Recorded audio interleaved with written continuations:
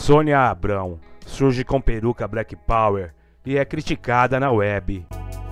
Gente, vergonha na cara não é nenhum animal silvestre. Não, pode criar, escreveu um internauta. No dia em que o Brasil assistiu ao discurso de Tiago Leifert a respeito do comentário que Rodolfo fez sobre o cabelo de João no BBB 21, Sônia Abrão surgiu com uma peruca Black Power em foto postada em seu Instagram. Black is beautiful, preto é lindo, escreveu a apresentadora branca. A publicação foi vista como uma apropriação cultural por diversos internautas que criticaram a atitude de Sônia Abrão nas redes sociais. Desnecessária.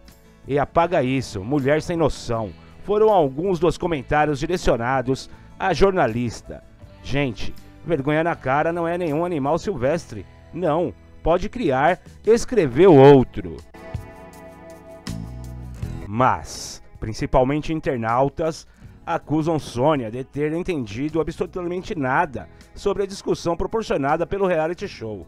Muitas pessoas pretas foram até o Instagram de Sônia Abrão pedir para que a apresentadora corrigisse seu erro. E também reclamaram que seus cabelos não podem ser considerados uma fantasia. Sônia Abrão ainda não se pronunciou sobre o caso.